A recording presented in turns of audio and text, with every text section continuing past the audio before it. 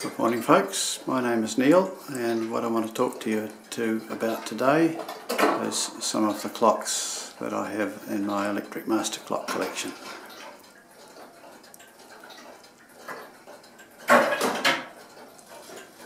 So we'll start by having a look at this one here.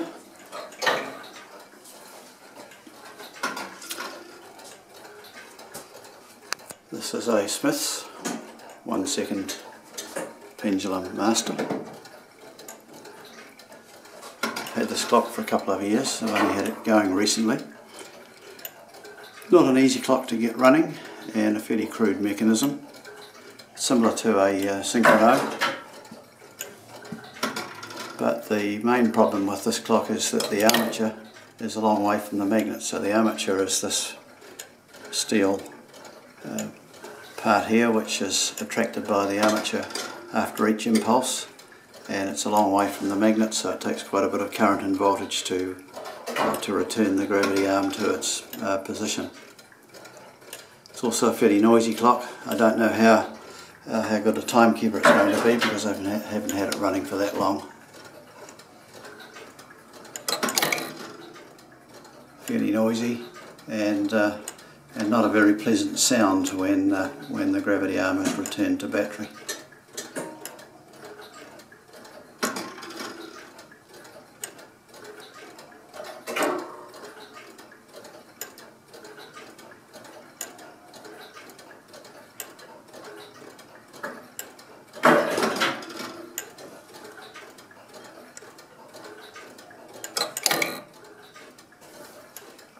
It's got a nice case and quite a nice face on the clock and it should restore quite nicely with a little bit of oil.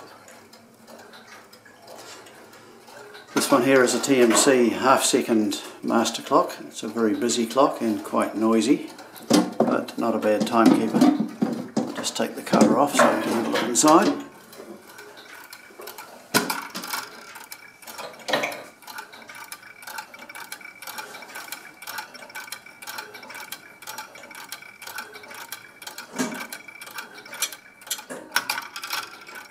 This is a Hipp toggle clock, very nicely made.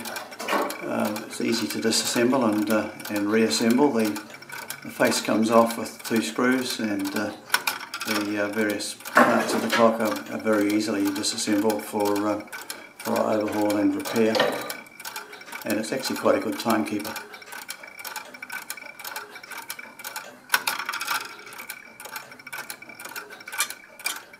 see the Hipp toggle mechanism just here.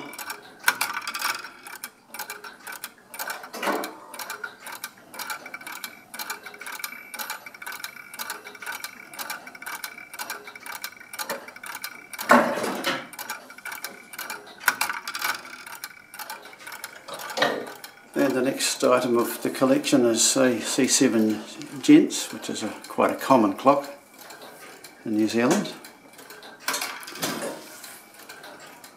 Very robust, heavy mechanism, built like the proverbial British outhouse. Uh, easy to get going and uh, very reliable. Quite noisy on the impulse, heavy magnets, uh, heavy contacts and uh, a very robust mechanism. The 30 second count wheel has one deep tooth and when that deep tooth comes around it allows the unlatching mechanism to drop the gravity arm down onto the pendulum which gives the pendulum an impulse. There's a, a deep tooth coming up now in two seconds. One second now.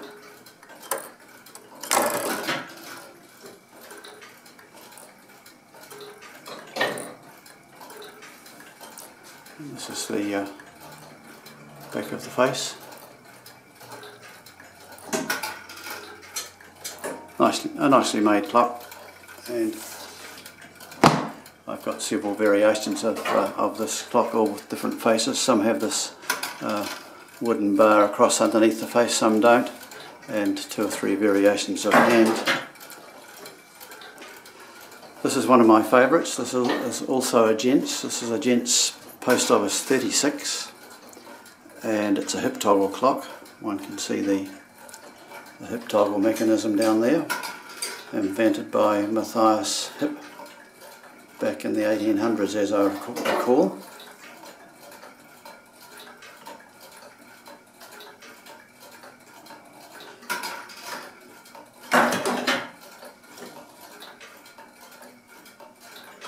That was the Hipp action just then.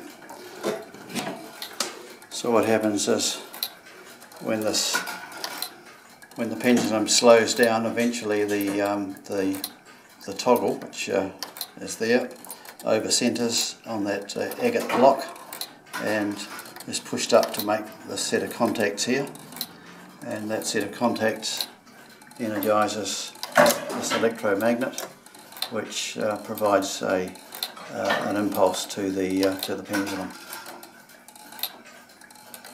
This is actually a good timekeeper, especially when I don't open the door. The escape wheel on the right is uh, 30, 30 seconds and the one on the left provides a series of impulses for other other uses. This clock has a synchronizer on it which allows a whole battery of these clocks to be synchronized to the same time. Um, for example, if a uh, uh, if um, a rail system had these at various stations throughout the country, uh, all of the clocks can be synchronized on a single single wire by operating this synchroniser here, which uh, returns the minute wheel back to the same position on all clocks at the same time by impulsing this coil here and that brings every uh, wheel to the same position on the full length of the country and so of course all of the clocks are then synchronized to the same time. I actually modified the uh, the, the uh, face on this clock so that it's driven from a small relay rather than use the contacts of the clock to drive the movement in order to, uh, uh to save the contacts. This clock keeps pretty good time. This one here is also made by Gents. This is a Post Office 46. It has no, no face and is used purely to generate uh, impulses, time, timing pulses. I've got uh, some LEDs down here which show two of the outputs.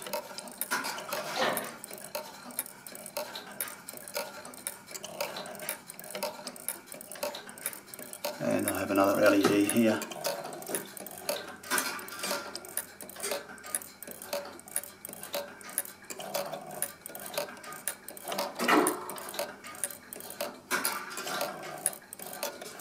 This is also a Hipp toggle clock and you can just see the, the toggle in behind the back of the back of the pendulum there.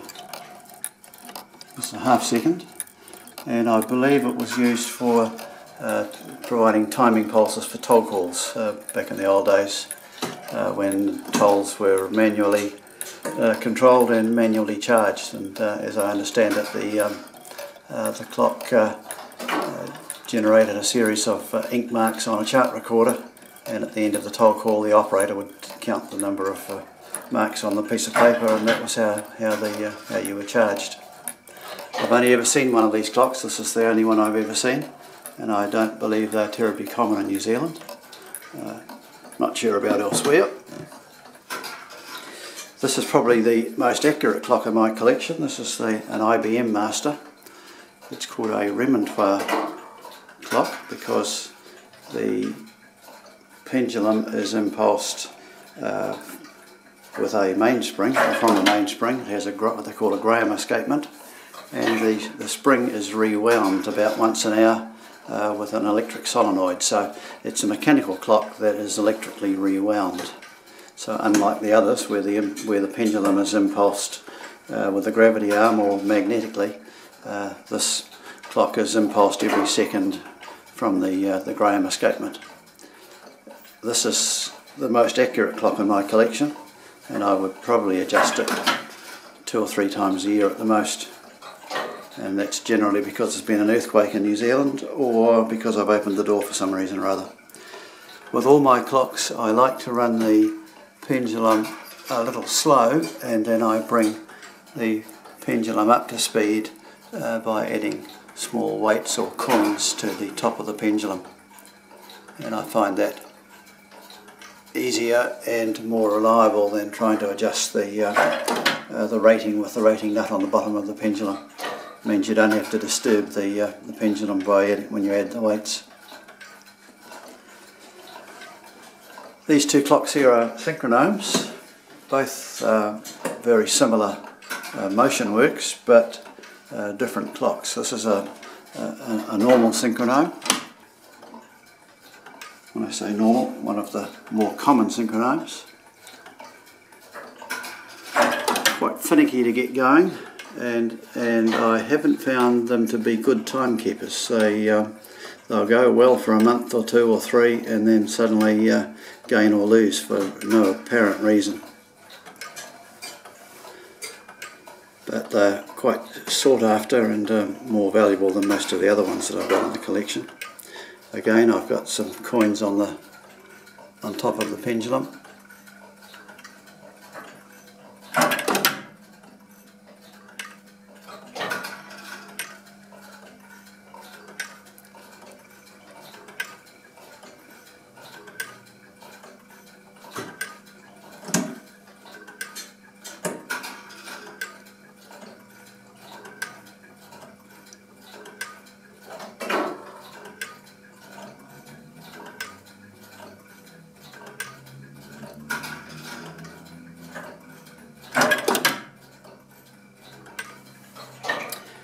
And this one here is also a synchronome, but it's been modified in New Zealand by ASEA, an electrical company that uh, don't exist any longer.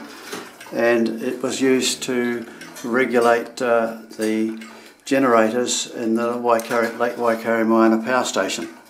So the, uh, the, the, the mechanical clock was the master timekeeper, and the red display on the left is a, synchronous clock which ran at mains frequency from the from the generators, and the small display on the right uh, was the error between the uh, master and the generator.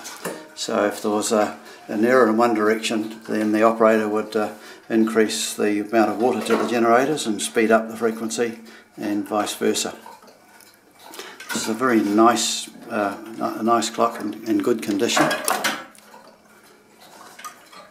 and a few extra bits and pieces for for the generator control.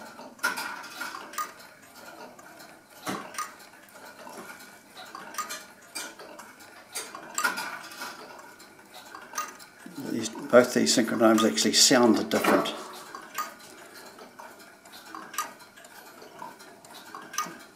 up to the impulse. This um, mechanism just here operated once per second. I don't actually have it connected at the moment. The um, the gathering pallet has, uh, has been has been taken out, and I don't have it running because it was quite noisy and quite busy, and it also uh, provided some more load on the pendulum. This clock's got quite a nice feature. Uh, in order to regulate the pendulum you can add a weight to the weight tray and you can do that without opening the case. And, and I would imagine that uh, when it was in the power station being used the operator would uh, set the clock from the time signals on the radio. And if the uh, clock was running a, little slow uh, then without opening the case you could lower, the, lower this weight onto the onto the weight tray uh, and speed up the pendulum by a, a second or so per week and then when the pendulum was when the clock was back on speed then lift the weight off the off the weight tray. So quite quite nice. I haven't actually calibrated that but I would guess it's a second or so per week. And again I've got some coins on the pendulum to, uh, to regulate it. Unfortunately in New Zealand we get quite a few earthquakes and so you can spend a, a month or two or three trying to get your regulation exactly right and then uh, in the middle of the night there'll be an earthquake, come to work next morning and find uh, all of the clocks stopped. So this is the back of the of the two additional movements. The one on the right is the uh, uh, is the synchronous movement, and the one on the left is the error display. And that's the, the main, main movement.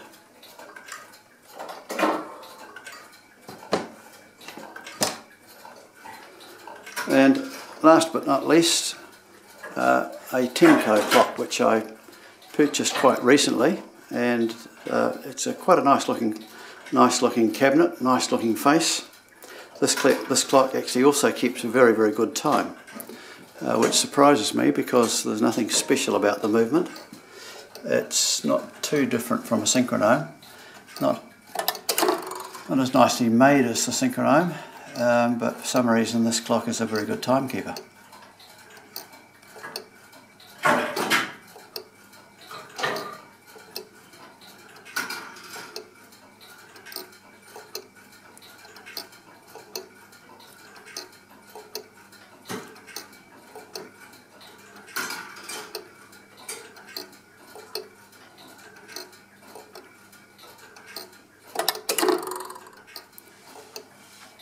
Not not very easy to disassemble and reassemble. It's um, it hasn't been made with uh, with repair in mind.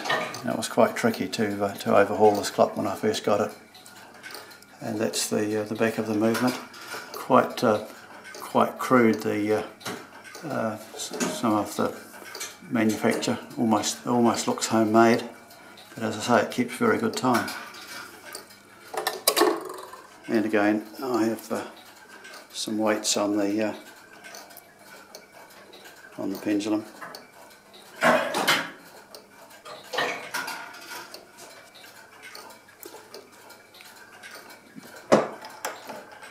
I've got this clock running on a off a 12 volt uh, rechargeable lead acid battery uh, which lasts a, a month or so.